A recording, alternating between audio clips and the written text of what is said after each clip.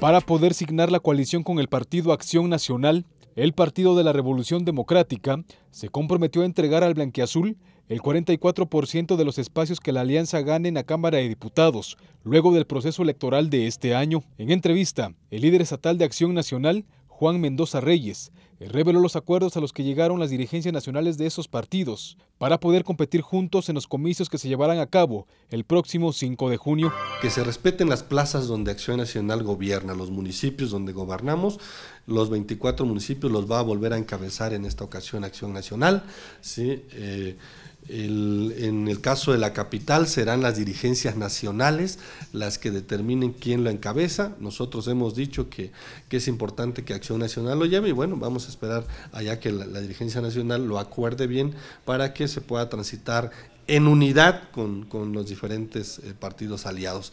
Y por supuesto, los municipios donde gobierna otro partido diferente a los que vamos en coalición, es decir, PAN, PRD, PT, ahí mediremos a nuestros eh, candidatos a través de encuestas, habremos de eh, determinar quién, qué partido registra. El, el candidato mejor posicionado ¿sí? tendrá que ser el registrado y obviamente el, por el partido que lo, lo haya propuesto para encuestar. Y en el caso de las diputaciones locales, el piso para eh, determinar, eh, ir juntos en, los distritos, es 11 distritos para el PAN, 11 distritos para el PRD y 3, por supuesto, quedarán pendientes para determinar quién, eh, los, quién los encabeza.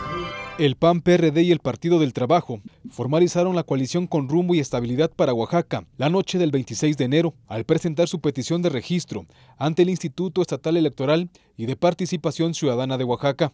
La intención de aquellos institutos políticos es impedir que el Partido Revolucionario Institucional y sus coaligados, Nueva Alianza y el Partido Verde, regresen a la gubernatura de la entidad. Sin embargo, Mendoza Reyes reconoció que la reputación aliancista sufrió un deterioro tras la actual administración estatal. La gente tiene muy claro, sabe que en este gobierno, que aún, aún cuando fue emanado de la coalición PAN-PRD-PTMC, pues no se dedicó justamente a gobernar así, gobernó con otros.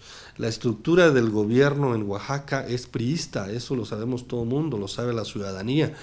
Nos pasó lo que nos pasó con Vicente Fox en su momento, sí que llega, que se esperaba todo un verdadero cambio, pero se queda la misma estructura operando en el, gobierno, la misma estructura eh, administrativa de gobierno sí, es la, que sigue, la que siguió funcionando. Lo mismo pasó aquí en Oaxaca.